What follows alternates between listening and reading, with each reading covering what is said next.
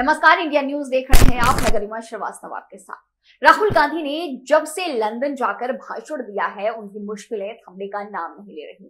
Cambridge में भाषण देने के बाद बीजेपी नेताओं से चौतरफा हमले झेल रहे कांग्रेस सांसद राहुल गांधी को अब दिल्ली पुलिस ने उनके एक पुराने बयान को लेकर नोटिस भेज दिया है।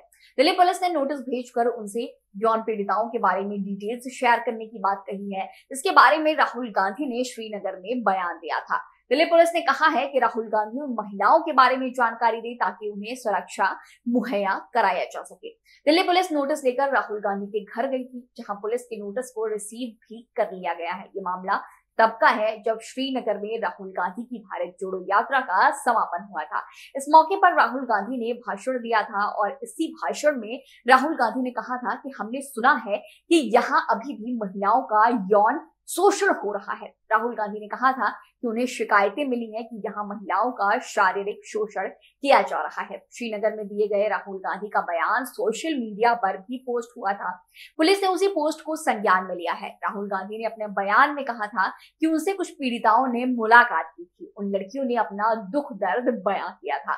इसके बाद राहुल गांधी ने उस लड़की से कहा कि क्या उसे पुलिस की मदद की ज़रूरत है? लेकिन राहुल गांधी के मुताबिक उस युवती ने बदनामी के डर से मना कर दिया। अब आप सोच रहे होंगे कि वो पीड़िता आखिर कौन है? क्या राहुल ने इनकी पहचान बताई? चलिए इसके बारे में भी आपको बता देते हैं।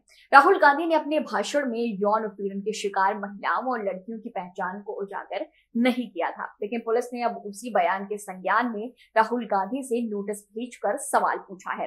पुलिस ये जानना चाहती है कि आखिर वो कौन पीड़िता थी? वो कहाँ की रहने वाली थी? राहुल गांधी को अब इसका जवाब देना है। जवाब कब देते हैं और राहुल की मुश्किलें अभी कितनी बढ़ती हैं, इससे जुड़ी हर जानकारी हम आपको लगातार बताते रहेंगे, लेकिन इन सबके बीच राहुल गांधी ने भी पुलिस से सवाल पूछे हैं।